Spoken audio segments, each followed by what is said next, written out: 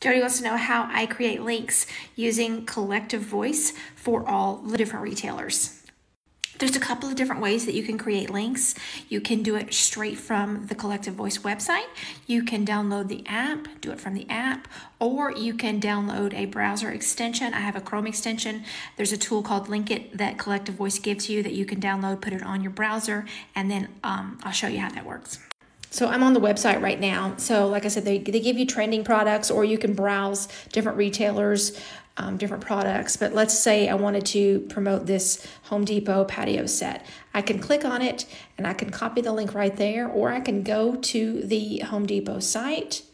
And then at the top here on my browser extensions, I can I can click it and then it will let me create a link from there too. So I can be on any retailer website, I can search different products and I can just go up there and create a link. I don't have to be on the Collective Voice app.